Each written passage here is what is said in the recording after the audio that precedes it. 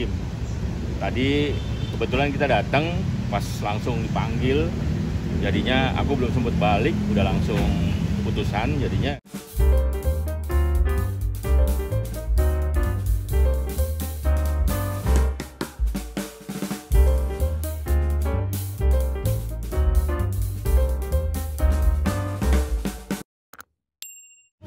Bang, Andre, Andre. Emang gua? Cek, cek, cek, cek. Kan? Oh kamera, ah HP gue. Ya. Bang, Ya, gimana siap. tadi hasil putusannya bang? Mana bang hari ini Sudah siap ya, Assalamualaikum warahmatullahi wabarakatuh.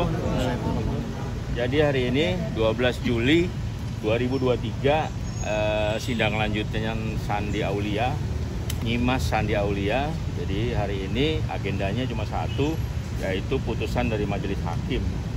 Tadi kebetulan kita datang pas langsung dipanggil, jadinya aku belum sempat balik, udah langsung putusan, jadinya ya udah aku langsung masuk belum sempat tadi ngasih tahu teman-teman wartawan jadinya langsung sidang makanya tadi sudah diputuskan oleh majelis bahwa eh, perkara perceraian nomor 361 2023 itu sudah diputus dengan eh, apa namanya tiga ya tiga tiga putusan tapi intinya cuma dua sesuai dengan eh, permintaan dari kita. Yang pertama adalah eh, putus perkawinan antara Sandi Aulia dengan David Herbowo eh, terhitung hari ini.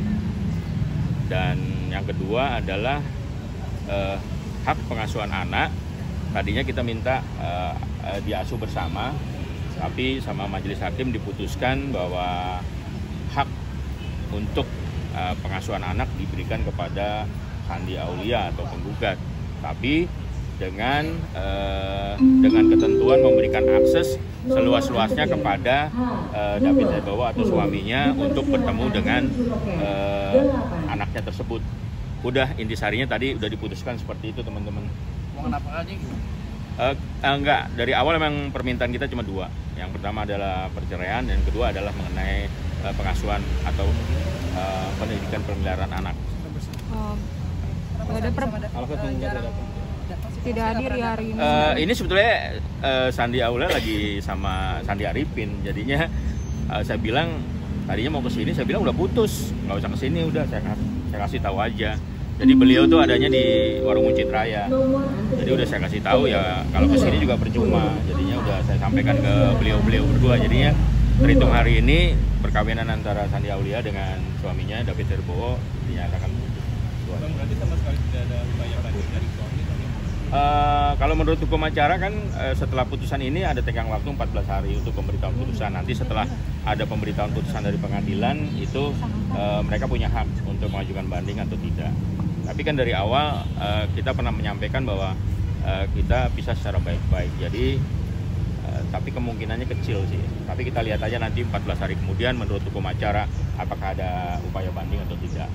Apabila tidak ada apa upaya hukum banding berarti kan perkara ini sudah BHT ya berkekuatan hukum tetap atau inkrah van gewis jadinya nanti bisa diurus mengenai akta perceraiannya itu teman-teman Bang, kalau menurut eh, apa pihak Sandi sendiri, apa memang ini sesuai dengan keinginan ya permintaan dua dan dua-duanya dikabulkan. Ya. Tadi pihak sendiri diwakilkan. Enggak, tadi eh, eh, tadi kan eh, di awal saya bilang bahwa putusan itu sebetulnya ada tiga gitu kan, tapi intinya cuma dua.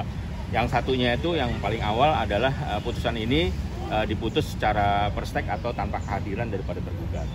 Yang kedua mengenai eh, putusnya perceraian, yang ketiga adalah eh, anak diserahkan kepada penggugat atau Sandi Aulia. Jadi tiga. Itu teman-teman. Mungkin Ya, sudah ada respon dari Sandi sendiri belum? Gitu, saya udah Aulia. sampaikan, Oh. tapi sampai sekarang belum call back. Oh, itu aja. Jadi nanti kalau itu lebih baik eh, beliau lagi sama Sandi Arifin, jadinya nanti teman-teman bisa telepon Ada rencana ke partner saya. Gimana? Rencana ke sini? Apa? Rencana ke sini? Bisa Enggak, enggak, enggak. Beliau ada di warung Muncit Raya, udah saya kasih tahu udah selesai perkaranya. Jadi teman-teman bisa hubungi partner saya aja, Sandi Arifin, untuk tahu bagaimana reaksi dari Sandi Aulia. Itu aja.